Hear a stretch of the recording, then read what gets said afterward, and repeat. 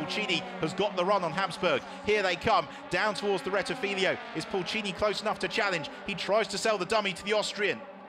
Habsburg sticks to the line.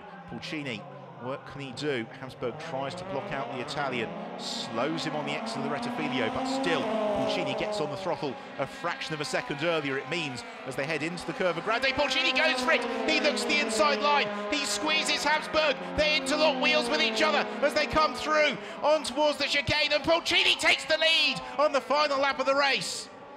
Habsburg looks to challenge around the outside into the chicane. Across the chicane, escape road he goes. He rejoins at the front of the field. He defends from Pulcini. Troitsky invites himself to the fight as well.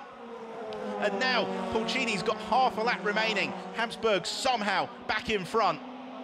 They come out of the second Lesmo. It's going to all be about the Parabolica for the final time. Can Pulcini carry that momentum that he needs out of Ascari?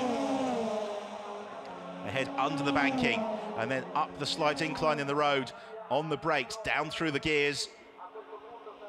And Pulcini closing all the while on the Austrian. Habsburg has to keep to the racing line here. He needs to secure the exit. He does, but so does Pulcini. This is the Italian's opportunity. He gets in the tow behind Habsburg, who bobs and weaves down the back straight.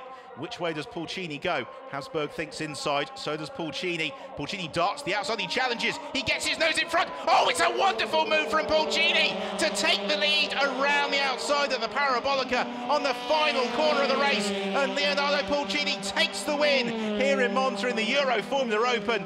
Brilliant, brilliant last lap. Habsburg takes second and Nikita Troitsky completes the podium.